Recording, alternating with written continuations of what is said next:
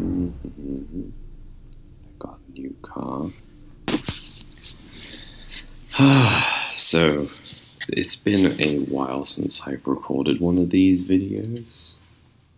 Because, yeah, I've been busy, so. Like, really busy. Like, I haven't really even been gaming for, like. Know, like a few months now. But it's pretty good to just get on this game and just like grind out enough money to get what a car like this. It was pretty good fun. Uh, so yeah, it's, it's the game really like they managed to make you feel like you can just drive muscle cars and the low end cars in the game and keep modifying them up. But you can tell by the way that things handle that they really want you to sit and buy these cars, but because it's EA, it also feels like it was designed so that it was like pay to win.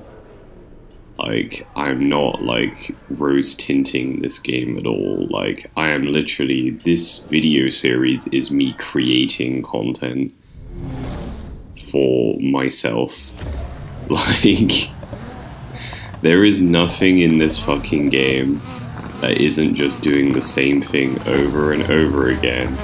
And me just going, you know what, I'm just gonna do the few things it has left for me to do, even though some of them are a real fucking grind, because why not? Luckily, some of the cars are fun to drive. Oh, I'm wrecking. So this has, like, pretty much everything like that I can get at the moment maxed out. We're gonna try and go for another ultimate part. This game, man, you'd think it would mix up how it drops the ultimate parts, but it's just the same every time. Grind heat, beat a race, drive part back. Oh look, it's another turbocharger that's ineffective because we balanced the turbochargers badly. So it's basically everyone uses the same one. like, but there's six options. Like, oh yeah. But yeah, this this car is much more accurate in the turns. Uh, I always liked the F40. I always thought it was a cool car. It, it's more accurate in the turns, it's more responsive in acceleration, and if you make a mistake, it punishes you, but it does not punish you like being crashing in a muscle car in this game. Crashing in a muscle car or any of the cars that are like easy to get the game punishes you so hard, even if you have a high performance rating, where it brings you to a dead stop and basically prevents you from accelerating for a short period of time, it feels. And then all of the AI just rubber bands past you, and you're like, oh. I'm sure they would if they could catch up with me in this, but like, the game really wants you to. Like I said, EA, man we're not gonna make it so that you can feasibly, like, get a good car with less than 100 hours of grinding. Fuck you. or buy it with real money. We reward whales in this economy. it seriously is like this this car cost me uh, like I've gotta say it's like must have been more than 500,000 credits in this game which is a lot of grinding the day events. And then you gotta think, I've gotta spend that that price basically again to get any parts I don't have in my inventory to make it actually usable at the level I'm using it now. So you feel like that is a lot of time that, you know, I feel like the old games would have had stuff for me to do that's not just the same five events over and over and over again. And I feel like it thinks that I will be playing this online all the time with my crew, except I don't have PS Plus or even functional Wi-Fi here that will let me connect my PS4. And um, I'm pretty sure this game servers for like are pretty much like ghost towns already. It came out in 2019 and it's like completely because they just treated the fan base like shit because it's EA. so yeah, good things about this game though. Car drive feel good. Okay range of car. I don't mind it. It lets me kind of relive some of the better parts of Carbon and Most Wanted, but kind of like not at the same time because there's just like you just gotta add some more things, man. Like, why can't I have set pieces where I wreck their cars? Why do they never set up spike strips or, or like roadblocks properly anymore? Why is the AI janky as shit?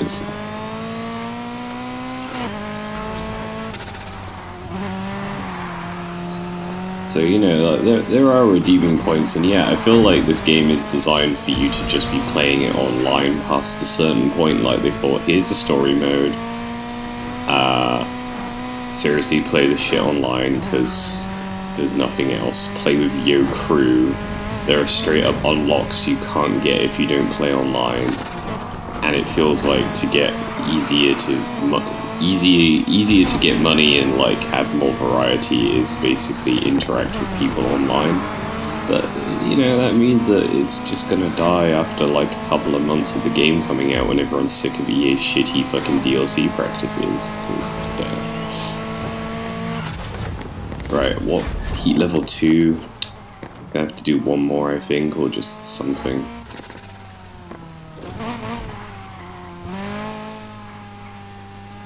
This one? Ah, fine. It's just the nearest.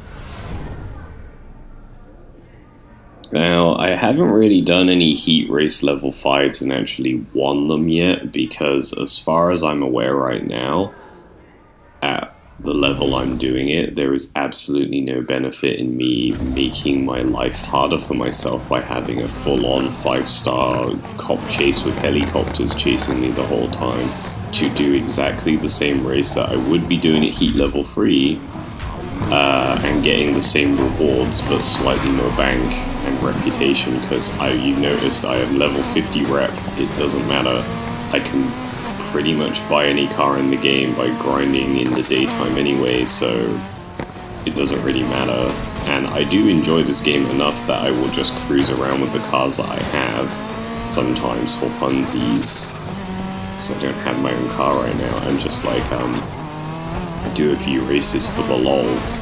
But like, um, yeah, there's really no incentive for me to make life harder for myself right now unless they change the system and say, oh yeah, you, the Ultimate Plus parts require you to do Heat Level 5. I'll get back to you on that because, like I'm saying, I'm deep diving this game because I love to torture myself with bad video games.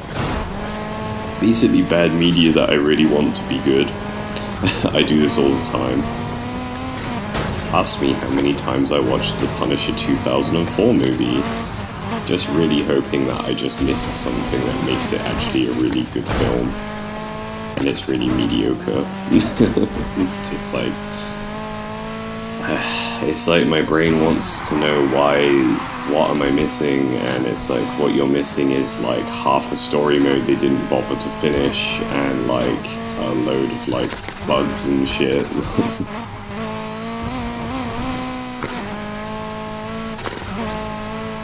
uh, anyway, no more complaining. I am winning. I am winning really easily now because I have the game, the car the game likes and really, really wants you to have spent money on. So, um, yeah. Doesn't stop me from driving like a tool, but like. So there's a heat 5. As you can see, it says part reward U, not U plus. And then if we go here, part reward U, and the only difference is rep and bank gain, and how much bank you need to have before you start the Heat 5 race. So it's just making your life slightly higher stakes, but then it's just like when it's just like about 20k difference in a game where like all the best cars are over a million, it doesn't really mean much. because it's not like you can grind a high heat race, so like, because you have to each time build it up and do it again and again. Not worth, man. So I was thinking about this the other day when I was doing a deep dive on this game's um, wiki page, which let's just say its fan wiki is real small. and a bunch of stubs basically. But uh, yeah, there's a high suggestion that they would just, the guys behind this were basically just told fucking ship it when it wasn't ready at first because um, they had a load of concept stuff ready to go that just never got made. And you're like, they were probably gonna get told, yeah, yeah, yeah, you can make it later, we'll make it part of like some DLC campaign afterwards, we'll fix it in post kind of mentality. And then it was like, oh wait, this game didn't do Call of Duty numbers. Oh well, never mind, cancelling the project and destroying any remaining Criterion members in the fucking company, throwing you in the trash by by development career. Hope you enjoy working at Dunkin' Donuts. Because it's EA and they're shitty fucking publishers, and people need to stop pretending they're not. I feel bad for playing this game because I'm basically saying I support battery farms. They're terrible people. And they're never gonna change because they make so much fucking money.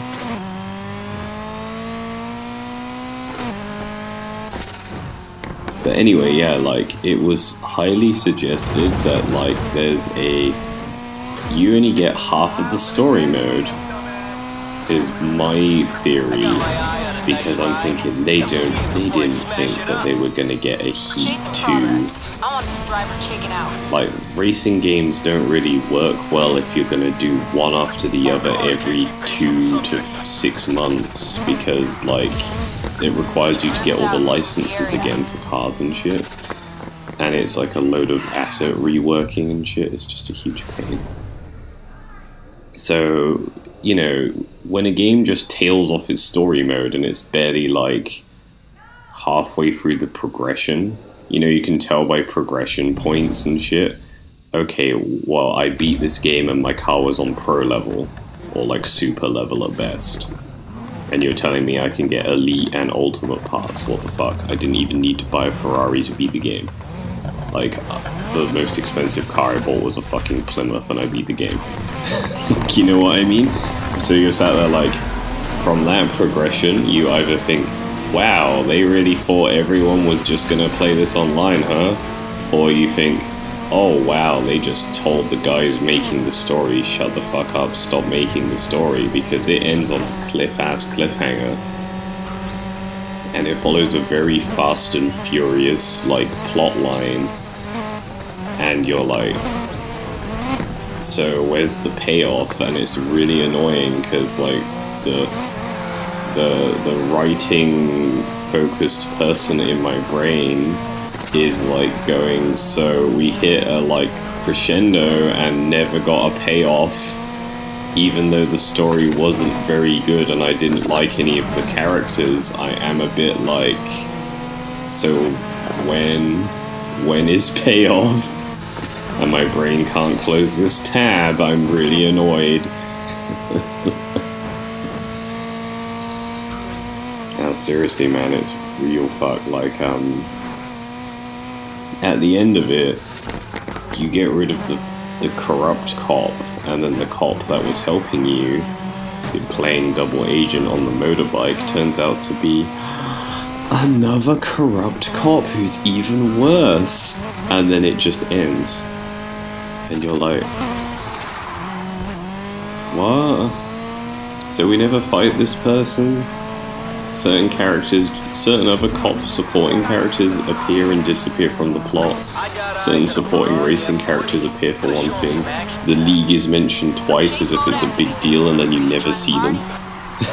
like, you never race with them it feels like you were supposed to be racing with the league and chilling out, and then like, oh no, the new Lady Torres is gonna come and beat us up. Oh no, now she has helicopters. Look.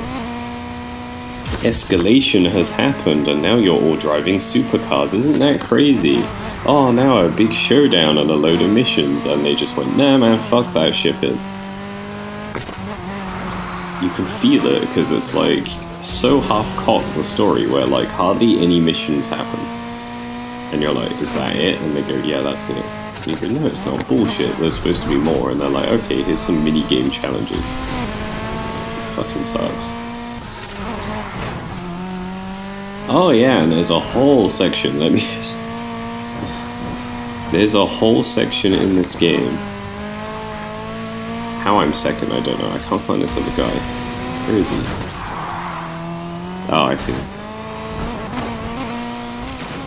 So I know this because Torres rides a motorcycle, which you only ever see in cutscenes, and then there are renders of several motorcycles that were then unused for the game, which makes you think, huh, it's almost like he was supposed to interact with her on her motorcycle in Game World at some point, and maybe she had cronies who were also on motorcycles, and then they cut all of that for whatever reason. And it's just like, literally like they had renders for like a BMW uh, motorbike, and I think it was, what was she driving, a Yamaha R1 or something like that, or a Honda CBR?